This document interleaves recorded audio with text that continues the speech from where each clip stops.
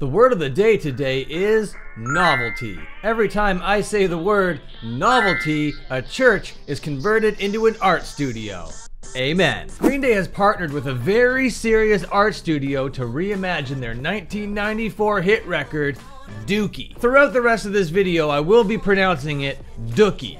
Get used to it. Together, not only have they reimagined these tracks, but they degraded them and made them sound worse in every single way. And today I want to tear into this story with no regard for human life or emotion. But before I do, hi, hello, hey, welcome. My name is Dan Frampton, and I am the originator of technical post cyberpunk math rock. Either that or I just make traditional, old fashioned home style YouTube videos. I forget which one. If you remember, please let me know down in the comments. Because did you know I reply to every single comment left within the first three hours of uploading. Three Hour Gang is serious business, and we're gearing up for the heist of the decade. Stick around until the very end for a very special secret surprise. Okay, with all that out of the way, let's do some crimes. So that very serious art studio that I mentioned at the top is called Brain. And down here you can tell they're a very serious art studio because they tell you, okay? And all we gotta do is click on Dookie Demastered. Look at this, demastered, beautiful. Now essentially what these guys have done is they took all these dead formats from bygone eras and made the songs from Dookie fit them. So we got the floppy disk, we got the Teddy Ruxpin, we got the Fisher Price, and today we're to go through all these formats and we're to listen to just a sample just to see how ruined these songs have got. And if you can't tell by now, I'm a little bit tongue in cheek. I really do appreciate this art project. And because it is demastering the tracks, they took that concept and applied it to this website. Because look at this logo right now, how it says Dookie, right? As we scroll down, look how it demasters itself the quality just degrades lower and lower as we scroll lower and lower. This kind of detail is amazing. This is more than an art project. And not only is it an art project that they took all these songs and put them on all these dead formats, then they sold these dead formats. So you could get like the Teddy Ruxpin disc, plug it into a Teddy Ruxpin, and have it go crazy for you. But anyway, I'm getting ahead of myself. Let's just take our time. There's a lot to digest here.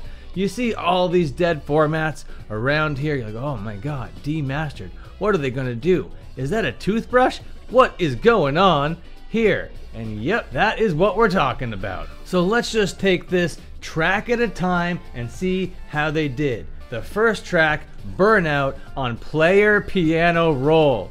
Already off to a very creative start. I wouldn't have even conceived of a notion to put a song on this format. But here we go. The description reads Captioned on perhaps the most revolutionary musical format of the jazz age, this arrangement of Green Day's Burnout is compatible with most player pianos manufactured in the past 100 years.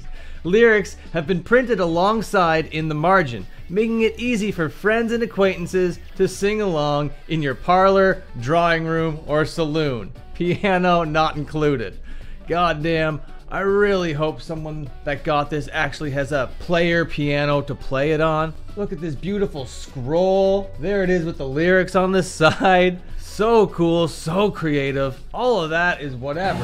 How does it sound?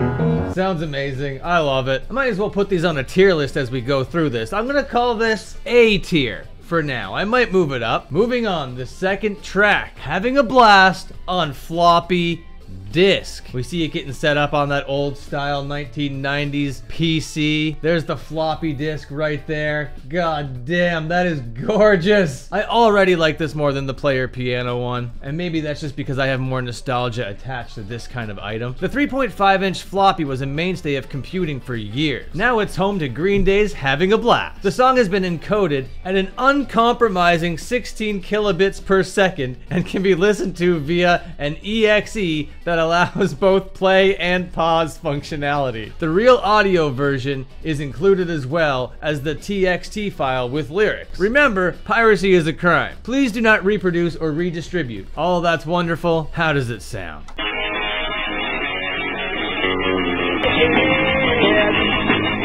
I love it. It is absolutely demastered and degraded to the 10th degree. I'm gonna keep this one in A tier though. I'm not gonna go quite S tier yet. The next track went for $99 and this is the one that everyone's talking about. This is Chump on the Teddy Ruxpin. Now you're familiar with the Teddy Ruxpin looks like, right? You got just like a Teddy Ruxpin over here. You used to be able to put like tapes in him or whatever, and he would sing along to the songs as they would play at you in the 1980s or whatever. So I have big expectations for this one. Teddy Ruxpin was an animatronic stuffed animal that told stories and sang lullabies to millions of children in the 1980s. Now, for the first time, he can also sing Chump by Green Day. A pre-loved Teddy comes with a cassette tape featuring an 8-channel recording of Chump, including synchronized eye and snout movement. D-cell batteries not included. Alright, that's great. Give me those sonic waveforms. Well, would you look at that? It's time for me to sing Chump, my favorite track on Dookie.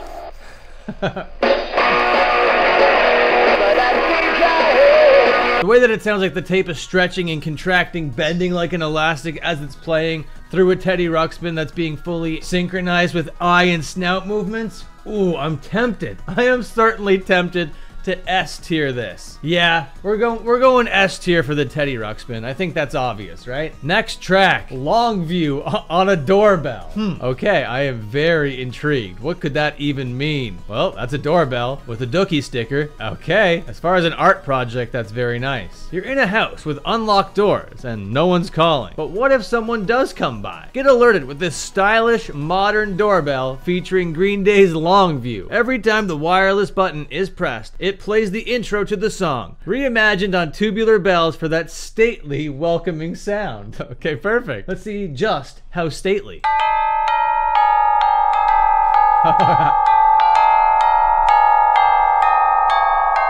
that is incredible. Oh my fucking god, I love that. A tier.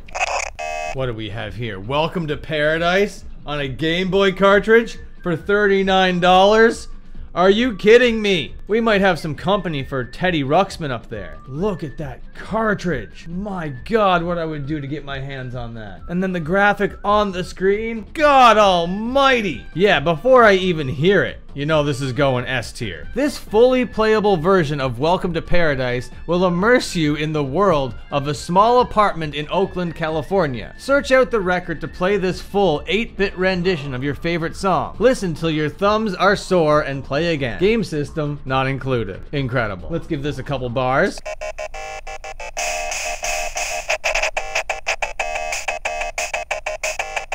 Oh yeah, that's S tier. I might actually need to take this track and use it as backing music in all my videos going forward. Let's give it one more sample before we move on.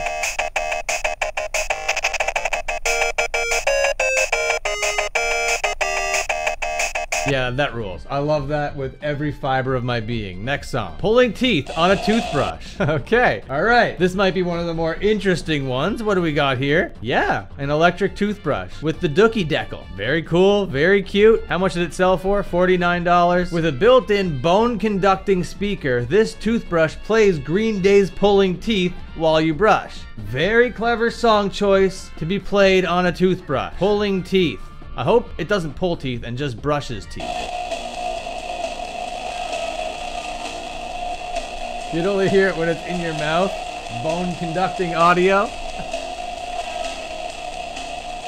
I hate it. I hate that so much. It, it's so clever though. From an art piece perspective, yeah, that's kind of S tier. But the sound is brutal. I need to feel that on my teeth to know for sure. So I'm putting this in C tier for now, which I know feels kind of criminal. No, I can't. I'll B tier. What do we got next? Oh, we got the other one that is drawing eyes and clicks online. We got Basket Case on Big Mouth Billy Bass. Look at the Billy Bass over here. Billy Bass with the Dookie sticker and everything. Good God, I want one of these. The iconic 90s basement decor meets the iconic 90s album. This animatronic singing fish performs basket case, including head, mouth, and tail movements, activated by button. Wow. Do you have the time? Okay, it's pretty sick. I do not like it as much as Teddy Ruxpin or the Game Boy thing, but I will put it top of A tier. Next track, She on the hit clip. The early aughts miniature music system hit clips was known for playing tiny cartridges of songs by teen idols, but never any by Green Day. These all new cartridges finally correct that oversight, allowing She to be played on any compatible Hit Clips players. Boombox not included. Alright, good write up. Love that cartridge. That's delicious looking. With the little carabiner thing on there, I think is the clip in the Hit Clip name. Alright, how's it sound? All right, I like it. A tier. A tier for sure. Very cute, very cool. $29. Next song. Sassafras Roots on 8 track. I don't know what more I could say. This is just going to be this song on this incredible format. Dude, this thing is so cool already. S tier. And you know it's going to sound amazing. 8 track. Oh, that satisfying click. Oh. Eight tracks better than vinyl. That's awesome. Sure, it doesn't have any animatronic bear going along to it. It isn't reimagined on a completely new format like a Game Boy. It is just music on a music format. But god damn, do I have a high appreciation for that. Recorded to the dominant magnetic tape format of the 60s and 70s, Sassafras Roots is now easier than ever to enjoy on your 8-track hi-fi system at home or in the passenger seat of your 67 Camaro. Driving towards the sunset with high school behind you and your whole life in front of you. Like any 8 track, it includes four programs. Unlike most 8 tracks, it only includes one song. Incredible. I love it. I love it so very, very much. I'm not used to Green Day, pop punk, major label rock and roll bands doing things that are this cool, doing things that are this out of the box, this creative. And it's not like Green Day did it. They just like signed over the license to this very serious art studio to do it. When I come around on wax cylinder. Holy sh! The gramophone? Really? All right, best played on the Model C. Holy dude. Yeah, I love this project. I love this project so much. Here's the wax cylinder. Yeah, you can see right through it. Good stuff. Yeah. Do you mean to tell me a whole song is on this wax cylinder? All right, if you say so. Wax cylinders revolutionized music, making the mass distribution of recorded music possible for the first time. Now, one century later, Green Day's When I Come Around is available on a two minute wax cylinder, ready to be heard on gramophone. If only Edison had lived long enough to see it. I am thoroughly entertained, and I haven't even heard the quality of this song yet. Alright, let's do it. Ooh, it sounds awful.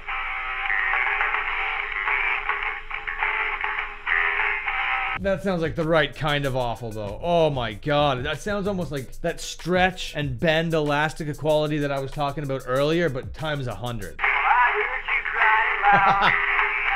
That sounds awful, but the novelty of this wax cylinder on gramophone, Green Day, When I Come Around, that's incredible. I am to put that in A tier. Next track, Coming Clean on X Ray Record. Well, that's uh that's X-Ray Record right there. It's very tiny. X-Ray Records, also known as ribs or bone music, originated in the USSR in the 1950s as a way to bootleg banned Western music. By cutting grooves into actual X-rays, music could be copied and distributed outside official channels. Green Day's Coming Clean has been etched into real X-rays in the same method, creating a recording that is uniquely unmatched in its specifically terrible quality.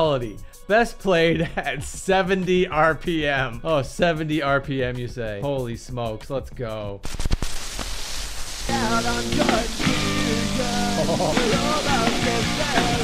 That static is too much. I mean, it's very cool to be able to play music on an X-ray, and the fact that it is a bootlegged method of listening to music is gaining it points. But I can't put this thing any higher than...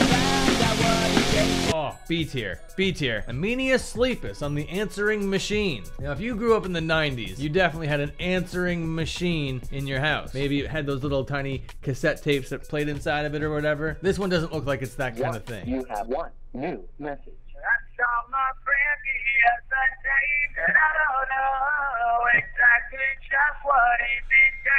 Holy shit, that sounds awful. That is really bad. That was awful to listen to. And the answering machine, not really a cool device. More utilitarian than anything else, kind of in the same line as that like doorbell or whatever. I don't know, dude. We're going like C tier for this. I'm not even gonna read the description of it. Let's just go to the next song. In the end, on mini disc. Mini discs promise to bring music into the future by combining the best parts of CDs and cassettes. Fate had other plans. But those keeping the dream alive can still enjoy this reissue of In the End, ready to be played on your favorite mini disc system. Oh god, that's so sick looking. Man, when mini discs were around, people really did think they were going to be the future, but they didn't even experience a moment in the sun, let alone the moment in the sun.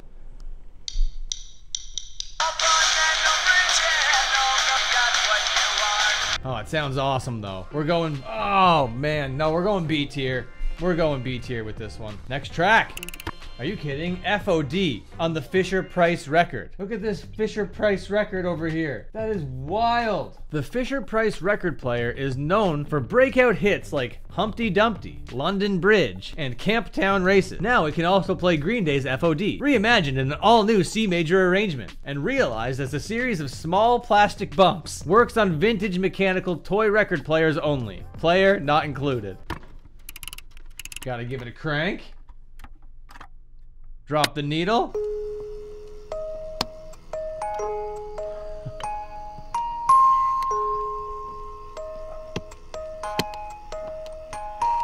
Cute and clever, B tier, $19. Yeah, that's about right. Next one. All right, this is the album closer. This is All By Myself on the Music Box. Crank it as long as you want with All By Myself, arranged for the first time on a hand cranked music box. Take it away.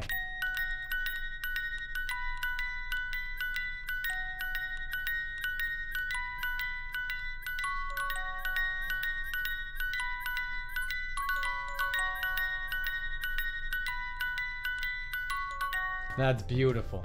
That is absolutely stunning. And here's the music box itself for anybody wondering how it looks. There it is with the translucent plastic case so you can see the inner workings. I love that. Hand cranked music box, S tier. So as much as they degraded and demastered, they did not devalue these songs. I think that this is such a step up and a very clever, creative way of marketing a 30 year anniversary of a thing. Great job. Absolutely wonderful job. 10 out of 10, knocked it out of the park. I've never seen anything quite like this before in my life. That was Green Day, Dookie, reimagined on all sorts of dead media. I've been Dan Frampton. I just made a YouTube video. Thank you so much for making it all the way to the end. And I promised you a very special secret surprise here at the end. And that is you're in End Gang for life. Too sweet, me brother. Okay, thank you so much for watching. Until my next upload, watch another upload. Take care and have a good one.